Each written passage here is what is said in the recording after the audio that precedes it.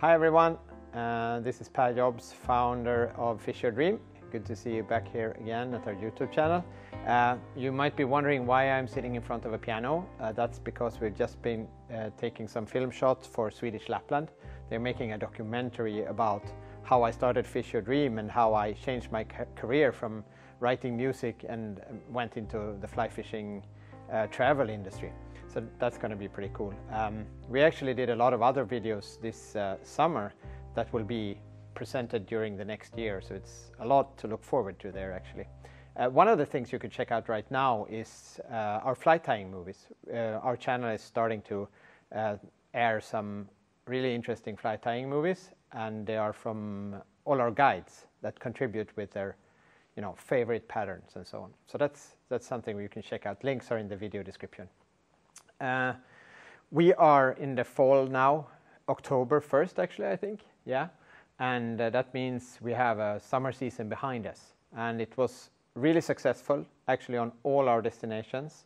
And one of the things that I want to lift a little bit extra is uh, our fishing at Camp Onka in Lainio River. We had such a great success with the salmon fishery there. So many Baltic salmon caught. It's, it's amazing yes, it was a revolutionary year in terms of the, the sheer numbers that went into the Torne River and the Lainio River, but the amount caught at our stretch is super. So if you're into salmon fishing, you should really check out to try and book that for next season.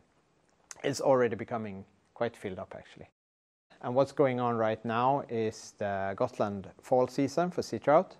Uh, we're starting to catch some nice fish and uh, yeah, it's time to secure a spot if you want to fish with us this fall, or also in the spring actually.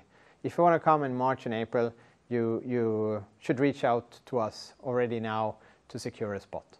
Finally, I would like to thank everyone involved in the 2021 summer season, both the staff, all the guests, you've all been great.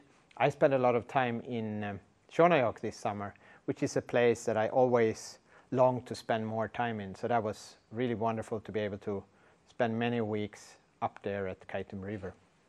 Uh, remember to subscribe to the channel and I'll see you by the water.